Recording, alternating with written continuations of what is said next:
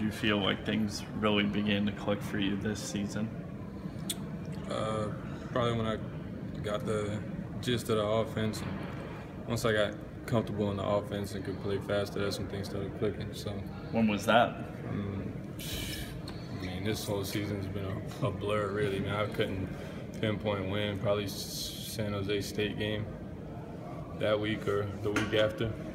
How? What were the biggest struggles with um, you know, learning this offense? Um, probably just learning the offense in general, uh, terminology down, and then after understanding the terminology is knowing where to put your eyes at at the snap of the ball. Um, I've gotten pretty good at that now. Uh, I feel really comfortable and I can play faster and get the ball out of my hands a little quicker now. Um, that and chemistry with the receivers.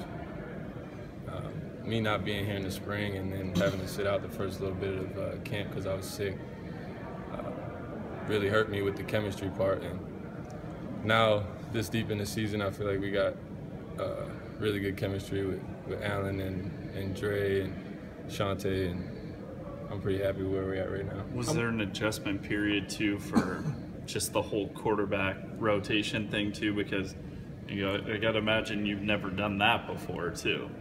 Uh, yeah. Um, I mean, that just is what it is. Yeah. You know, that's how coach wanted to do it, and that's how we had to do it at the beginning to figure things out. I think we kind of got a rhythm in that now too. So. How much time would you spend in the Berg and stuff as you were kind of studying? I know you've talked about watching film before too. How much? What were your habits like? I guess as you were trying to pick up the offense. Um, at the beginning, my habits weren't weren't elite. Um, now, I mean, I'm in here some mornings, majority of the mornings when I don't have class and I'm not lifting weights. I'm up here at six o'clock in the offensive staff team in the meeting room and watching film with the coaches and while they're putting in the game plan and kind of uh, watch seeing how they watch film and, and, what they look for and stuff like that. So I mean, it, it's really helped me in my process. That and Coach Campbell, if I'm not up here, my phone's ringing asking me where I'm at. So him in my ear is a is a big help. Um, that and the, the, the coaches, Coach Hoff, I can't compliment Coach Hoff enough for the, the teacher he is and the coach he is and how motivating he is. Were there you any light bulb moments for you as you were watching film, or was it more gradual? Or, or can you pinpoint specific instances where you're like, oh, you know, like I've cleared a hurdle, and you know that's you're just furthering? Yeah, that's probably. I mean, those light bulbs really go off in practice. You know, when you you throw a go route on time across the middle, and you're like, okay, that's how we're supposed to get it done, and then the next six times you do it, you do it just like that. So, I mean. It, light bulbs is definitely in practice, not watching film. Um, watching films more for seeing what the other team is doing and being able to see it on film and then going to practice and being able to see it happening in practice. That's why we watch film so much. And that's I didn't know that's why we watch practice in the beginnings or watch film in the beginning. And Coach Hoff's kind of made that clear for me and Coach Campbell and watching film and Coach Hoff's like, okay, this is what you need to look for for this coverage, and this is what you need to look for for this coverage, and it's really now I, I see it all. You oh. said it wasn't elite. Your preparation wasn't elite early on. What do you mean by that? And what caused you to change those habits and become elite? I didn't spend as much time as I needed to be up here with the coaches. I mean, I'd be up here watching film by myself, but there's a big difference between watching film by yourself and watching film with the coaches. Um, when you watch film together, everybody's on the same page. When you watch film, it's in separate places, and you know some people might see this, other people might see something different. And when you get on the field, it, it shows. But when you're in the same room as your offensive coordinator and your head coach, when we get into games, it's it's almost like second nature. They call a play, I kind of know what's coming next, or I get a formation, and I'll know the rest of the play just by by listening to what they're saying. So what caused you to change that mindset and try to become elite and start doing that stuff? Um, well, I mean, motivation for myself first off, and Coach Campbell really wanted me to get in there and learn the offense and, and contribute to the team.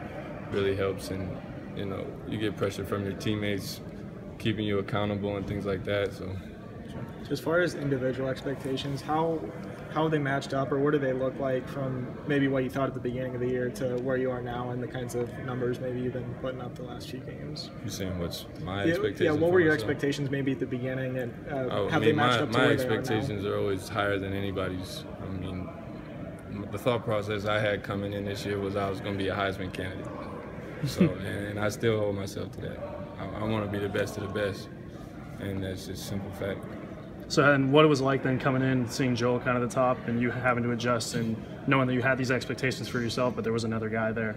I mean, it's it's just a it's adversity for yourself, and I mean, my, my life's been full of adversity, but I, I kind of knew ahead of time coming in, and Joel's been here, he was here in the spring, it's going to be a process getting working to the top. So, I mean, I just took it one day at a time, and I knew what I was getting myself into, and it, it kind of sucked being out um, to get into camp because that hurt me even more, but I stuck with it and was patient and let things happen. What was the conversation like for you know? Was did coaches tell you up front like, hey, we're gonna, you and Joel are gonna split time, or how did that kind of conversation I mean, happen? it just went week by week between performances and practice and, and what the coaches was comfortable with. to feel like it's all kind of come together now. I know the learning, there was that learning curve, the opportunity, and now, Definitely. you know, Definitely. I, I feel like um, even it's showing in our offense and in our team in general is the coaches coming in and it being a whole completely different system. uh,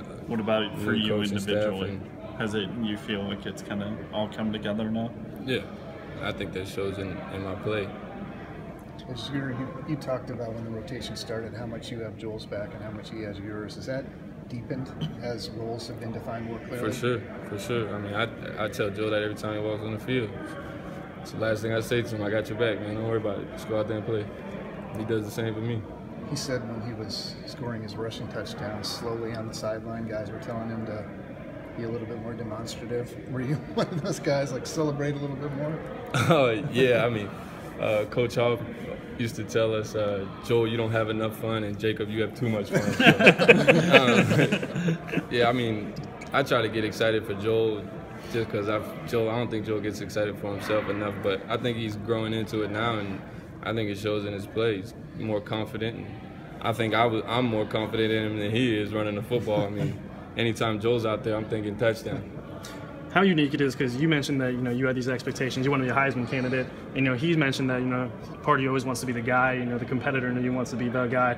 How unique is that you two have been able to balance and support each other so much in a two quarterback system? Yeah, I mean, it, it don't happen every day, so I guess you could call it unique. But um, I'm not a selfish guy by any means, and I mean, I never put myself ahead of anybody. So I mean, when it comes to a team, I, I feel like I'm one of the, the better teammates on the team. So um, I just take it up for what it is. I don't got nothing against Joel, and Joel don't got nothing against me. And it, at the end of the day, it's neither one of our decisions. So whatever happens, I can't hold it against him. That's just it's not rational. You know what I mean? So it is what it is. You mentioned after the game that you hope there's a time when people won't be surprised by 66 to 10 wins, and you said, you know, that's not where I come from. Yeah. What did what did you kind of mean by that? I mean, I come from a place where we win and losing is not acceptable. I think around here it was kind of people were just accepting the fact that we were losing, and if we were in the game, it's cool. But I mean, I, I don't want that anymore. I'm not okay with it. I don't like losing, and I'm not gonna ever accept losing. So um, if you come in, you accepting losing, and you're in the wrong place. Because Coach Campbell, I can tell you, sure, definitely doesn't accept losing.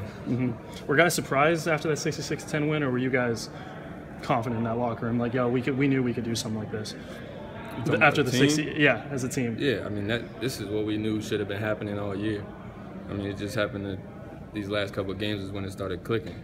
I mean, we've been practicing like this and performing and coming out here, and we just fall short in preparation and things like that. But I mean, all week we've had good practices. I mean, the last really month we've had ridiculous practices, and our execution has come to where I mean, 90% of our starters are, are getting A's in their in their grades, and everything's coming together.